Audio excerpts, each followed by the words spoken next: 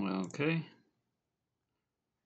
So somebody wanted me to uh, spawn an enemy after 10 seconds with a health bar over his head and then shoot him.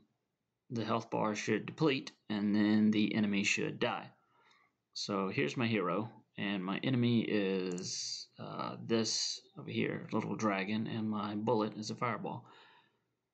So what I did was um, create a player like you would normally, give him the fire bullet. Here's his bullet. He shoots it with the fire control, which is the space bar. There's no events in his. There has no other behaviors. He doesn't move. Uh, he's a player. And my groups are actors. They collide with players, tiles, and bullets.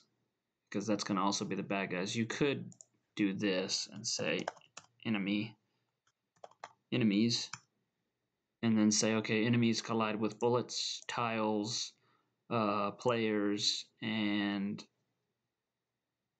that's it. I just used actors at the time because I'm just gonna remove this. Yes.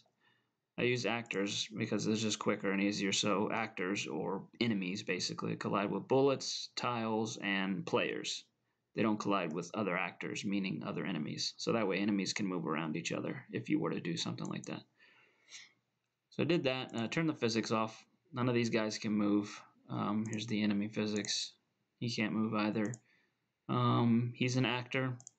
I didn't change any collision boxes. The behavior he has is the health manager enemy. I changed the name of it. It's right here under health manager rules, health manager, it's already pre-made, manage the health of an actor. So it comes out like this. The starting health is 3, the max health is 3. You don't want persistent health.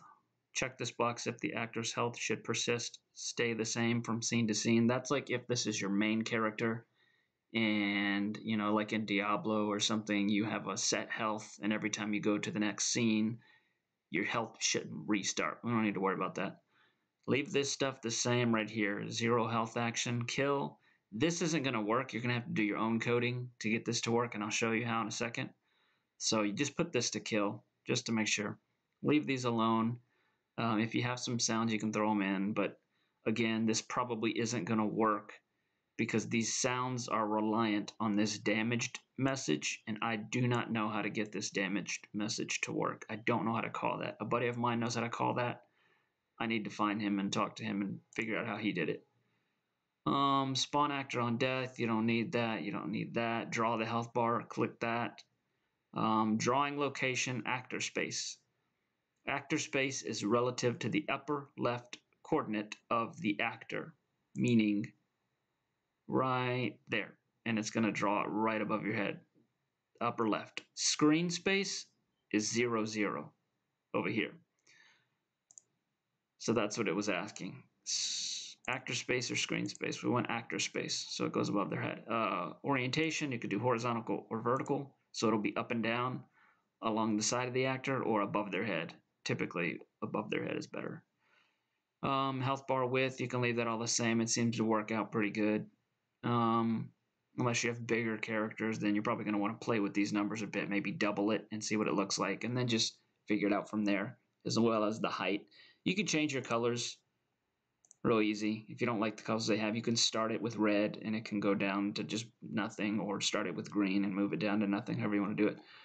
Uh, but then you're going to go to uh, Edit Behavior, click that, and it's going to open this whole jumble of stuff.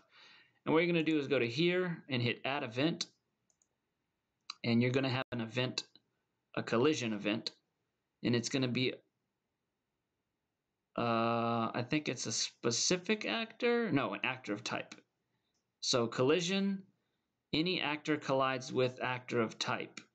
So you do that, and it's going to say when actor hits a actor type.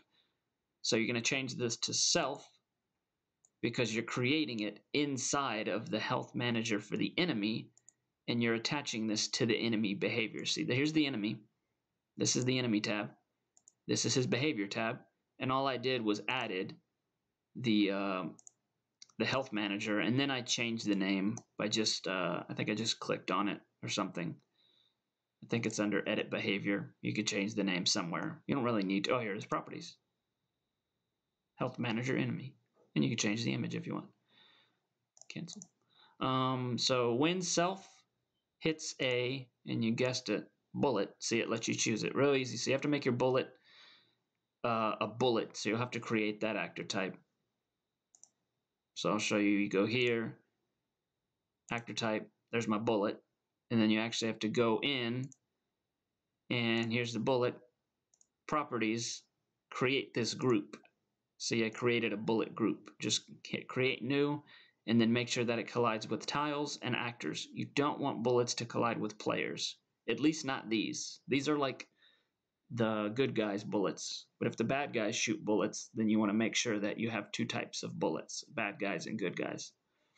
Because if he shoots a bullet and it, he can collide with his own bullet, he's going to kill himself as soon as he shoots. So you can't do that. You have to make two different bullets enemy bullets and player bullets. And make sure they collide with the right thing. So see tiles and actors.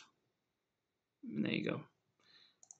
And then, okay, so what we were saying, so create an event. All you're going to do in here is create an event. And you're going to say when self hits a bullet, then you want to, um, first you want to kill that bullet right away. So kill, an easy way to do this, this is this. This is this. First actor is self, actor of type is bullet. So you just click this, put it right there. That easy. So now it's going to kill the bullet. So then you go to, there's the rest of it, set current health to current health minus one. And that's easy to find. So you go here, you go to attributes, setters, it's already on it. And then you go down, and here it is. It'll already be here. This won't be here. Don't pay attention to that. Set current health to, go to math real quick because you're going to do some subtraction put it right there. Then you go back to attribute getters because you're going to get the attribute. So you want to get whatever the current health is right now. If the game just started, it's going to be 3 because that's what I set it as. 3 right there, see? Starting health 3, max health 3. It could be 10, whatever, and you can do as much damage as you want. So set current health to current health minus how much damage do you want to do? I just want to do 1 damage. Then you put that in there. See, it lights up. It goes right in there. Then you want to say if current health ever equals zero. So you go to flow, if, and then you go right here. Here's the equal sign, comparisons. Put that in there. If, you can hold Alt if you have Windows. I don't know what it is for Mac. If current health equals zero, whoops, zero, so basically, every time um, the enemy gets hit by a bullet, it's going to do all this stuff in here. It's going to kill the bullet, and then it's going to get the current health and subtract one from it. And then if it's ever at zero, you go here, type in kill. Then you want to kill yourself. There you go. See, exactly like that one. And I'm just going to remove this one. And now we got this one. Okay. So that's going to do that. And that's all you need to do. Now for spawning them, you go to the scene. Here's my test scene. And you're going to go to events. Then you're going to say add. Here's a little clock. You can say every every n seconds where n is 10. n just means number. Every number of seconds. So after number of seconds is what I chose. So it says do after and it'll be blank like that, seconds, and then you're just going to put in uh, 10 seconds or 15 seconds or every or 5 seconds. So we'll do 10 seconds. Actually, we'll do 5 for the sake of this tutorial. You create an enemy, and the easy way to do this is just type in create. Just type in create, and it gives you everything that has that word in it. And you're going to go, uh, create an actor type. And then you're going to say, what kind of actor type? Choose the actor type. You want to create a bullet, an enemy, or another player. Create an enemy and where at x and y. Easy way to find these coordinates because those are the one thing that are a little weird. Go back to the scene. Figure out where you want them to be. Pay attention to your collision boxes though, because that's where it's kind of deciding. So it's always going to spawn the thing at the top left corner. That's always your spawn point, top left corner. It's never the center. It's the top left corner of your little, uh, your collision box, I believe, if I'm correct. Let me see. Yeah, I think it's the top left corner of your collision box. So right there is zero, zero. You can see it right here.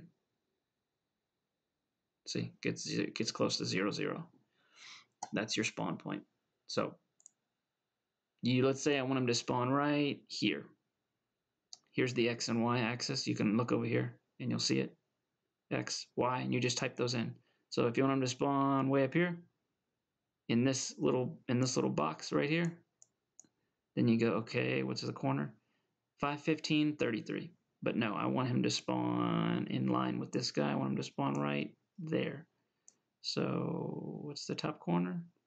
482 by 226. Close enough. That's actually where it should be. And then we can test it. Ugh. Need some water. so after 10, after five seconds, after five seconds, uh, dragon will spawn, and then I'll be shooting fireballs at the dragon because that makes sense. the only thing that concerns me is a while ago I did something and